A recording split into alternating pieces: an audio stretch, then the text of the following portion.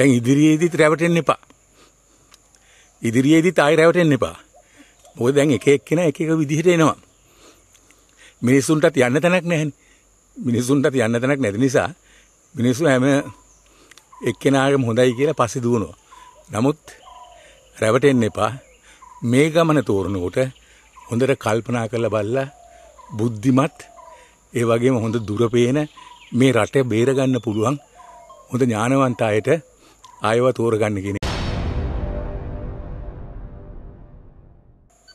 ඔය එදා මම කිව්වා රටේ ජනතාවට මේ ගෝඨාභය මහත්තයාව බලයට ගේන්න එපා. මොකද එතුමාව බලයට ගෙනාවොත් එතුමාට මේ ජනාධිපතිකම කරන්න බෑ. එතුමාට කිසිම අත්දැකීමක් නැහැ. අඩු ගානේ ප්‍රාදේශ සභාවකවත් ඉඳලා නැහැ. හමුදාවෙත් හිටපු මේජ කෙනෙක් පමණයි. ඉතින් එතුමාට කිසිම බලයක් නැහැ. අනිත් එක එතුමා ආවොත් හමුදාවේ අය වට කරගන්නවා මිසක් යමක් දන්න අය වට කරගන්න නැහැ කියන එක මම එදා පැහැදිලිවම කිව්වා. ඉතින් මම අනිත් එක මම යෝජනා කරා ඒ කාලේ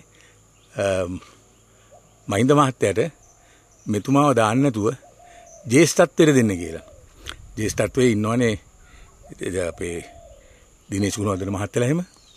ඒ වගේ දෙන්න මේ මේ මෙයාට දීලා අන්තිමට මහ ජනතාව ඔබතුමාට දොස් කියයි මෙයාට රට පාලනය කරන්න බෑ කියන එක මම පැහැදිලිවම කිව්වා. අද ඒක වෙලා තියෙනවා. අද මං හිතන්නේ වෙන කවුරුත් කිව්වේ නැහැ. ඒ වෙලාවේ කිසිම කෙනෙක් කිව්වේ නැහැ.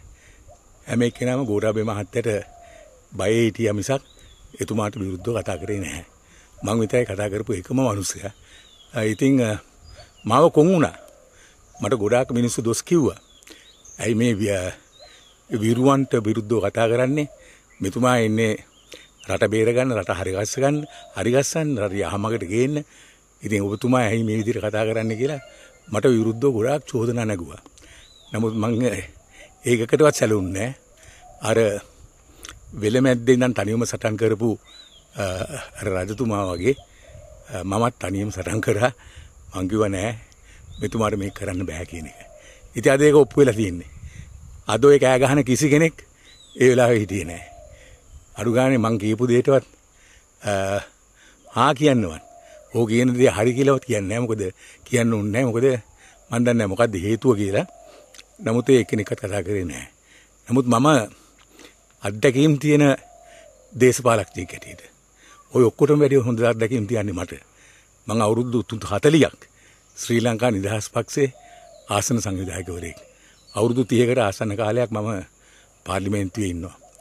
ඉතින් ඒ නිසා මම හිතන්නේ මහින්ද මහත්තයා ඒ කාලේ මහින්ද මහත්තයා ඇරුණම අත්දැකීම් වැඩිම තිබ්බේ දුර දැක්කේ පොළොව යට උනක් දැක්කේ මං විතරයි.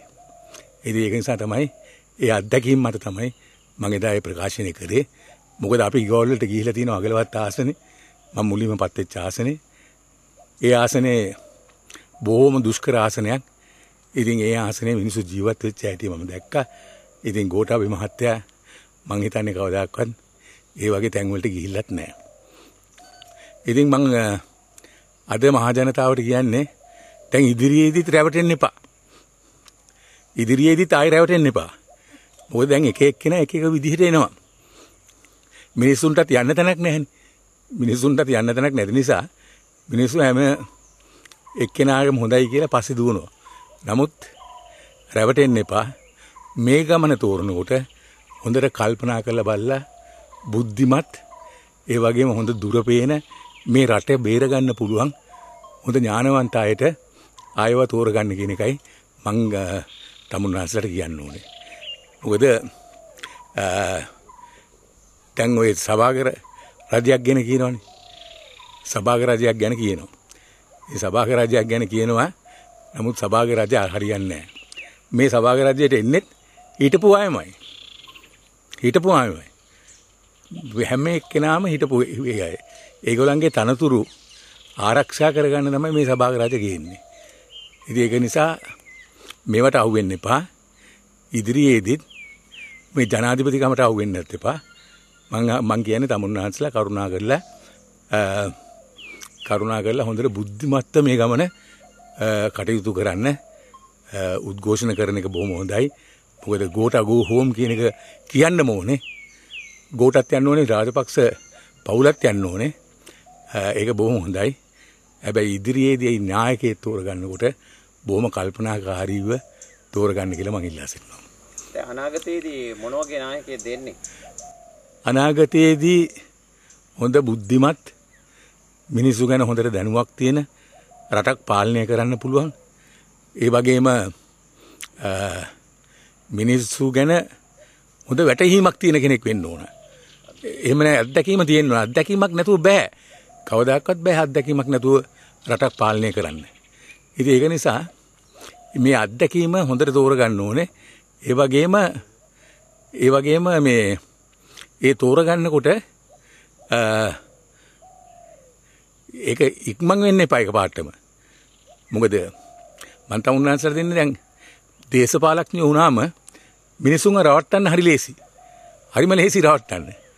අපි අරක දෙන්නම් මේක දෙන්නම් අපේ පක්ෂේ මේකයි අපි කාප මෙහා ඉන්නවා එයා ඉන්නවා කිව්වට වැඩක් නැහැ. ඒ එහෙම හිටියට හොඳට දුර පේන හොඳ අත්දැකීම් තියෙන කෙනෙක් තමයි තෝරගන්න ඕනේ. ඉතින් හොඳට කල්පනාකාරීව වැඩ කටයුතු කරන්න කියලා මම ඉල්ලා සිටිනවා. මම නම් කොහෙත්ම කරන්න සම්බන්ධ වෙන්නේ නැහැ. ගෝඨාභය රාජපක්ෂ මහත්තයා ඉන්නකම් එතුමා මේ රටේ නායකයා හැටියට ඉන්නකම් මම නම් කවදාවත් යන්නේ නැහැ. මම ඒක ප්‍රසිද්ධි කියලා තියෙනවා.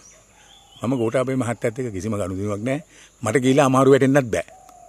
මොකද තවත් යන්න යන්න යන්න යන්න අමාරු වැටෙනවා. ඔය අන්තර්පාලනය කියන එක එක්කෙනා දාන දීල්නේ. ඔය මහින්ද මහත්තයාගේ කෙරුවාව අපිනේ දන්නේ. මහින්ද මහත්තයා මොන වගේ කෙනෙක්ද කොහොමද මිනිසුන් අල්ලගන්නේ කියන එක අපි ඊටම හොඳට දන්නවා.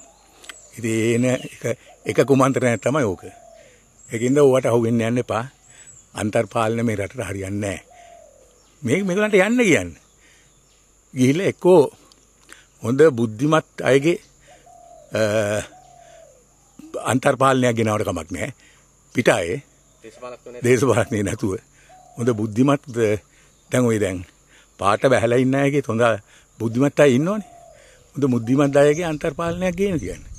ගෙනල්ලා ඊට පස්සේ මහමැතිවරණයකට යන්න කියන්නේ පස්සේ. ඉස්සලම ගිහිල්ලා. ඒක මම හිතන්නේ හුඟක් හොඳයි. එහෙම නැතුව මේ ඔය දැන් එක එක්කිනා ගේන ඒවා අල්ලගන්න යන්න එපා. දැන් සජිත් ප්‍රේමදාස මහත්මයා එක පැත්තකින් ඉන්නවා. ඒ පක්ෂයේ තව නායකයෝ කීප දෙනෙක් මතුවෙමින් ඉන්න විවිධ අවස්ථාවල. ඔබතුමාලාගේ සන්දානයක් විදිහට සාමූහික වගකීම් මෙතන තියෙනවා. නෑ එහෙම සහමූලික වගකීමක් නෑ. නමුත් ආණ්ඩුව පෙරලන තැන අපි ඉන්නවා. කෝටාබේ මහත්තයාව ගෙදර යන යවන තැනට අපි කොහොමත් ඉන්නවා. ඒකෙදී අපිට කිසිම එක එක්කෙනත් එක්ක කිසි තරහක් තරහක් මරහක් නැහැ. අනිත් එක අපි ඔක්කොම එකට එක්කව වෙලා තමයි ගෝඨාභය මහත්තයා වාන්න ඕනේ. ඒකින්ද අපි ඔක්කොම එකට ඉඳලා තමයි ඒ කාර්යය කරන්නේ. එතෙන්දී කුමාර වෙල්ගමත් ඉස්සරහින් ඉන්නවා කියන එක කියන්න ඕනේ. අවසාන වශයෙන් අත්දැකීම් තියෙන පරිණත දේශපාලනඥයෙක් විදියට මේ වගේ තත්ත්වයක් රටක උද්ගත වුණොත් ඔබතුමා මුලින්ම යෝජනා කරන යෝජනාව මොකක්ද? මම නම් මුලින්ම යෝජනා කරන්නේ මේක රටේ අපි කවදා හරි වැඩි වැඩි වැඩි ඈතක් යන්න ඉස්සෙල්ලා මේ ජනාධිපති ක්‍රමය අවශ්‍ය කරන්න ඕන. ඒක නම්බර 1. මේ ජනාධිපති ක්‍රමය නිසා තමයි අපි අමාරු වැටලා තියෙන්නේ. ජනාධිපති ක්‍රමය අවශ්‍ය කළා සාමාන්‍ය නාමික ජනාධිපතිවරයෙක් තිබ්බට කමන්නේ. පාර්ලිමේන්තුවට බලසල් දෙන්න ඕනේ. ඒ විතරක් නෙවෙයි පාර්ලිමේන්තුවට බලසල් දීලා සෙනට් එක වගේ සෙනට් මණ්ඩලයක් ඉහළින් තියන්න ඕනේ. එතකොට මේ එක්කිනෙකුටවත් නටන්න බෑ. දැන් තනි මිනිහෙක්ගේ අතිනේ බලය තියෙන්නේ. ඒක නෙමෙයි නටන්නේ. අපි සෙනට් මණ්ඩලයක් පත් කරොත් සෙනට් මණ්ඩලය නිවැරදි තීරණයක් ගන්න පුළුවන්.